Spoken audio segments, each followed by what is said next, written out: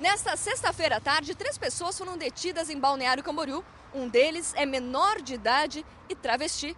Nesse momento, a suposta vítima, um empresário da cidade, Mazinho, está dando depoimento.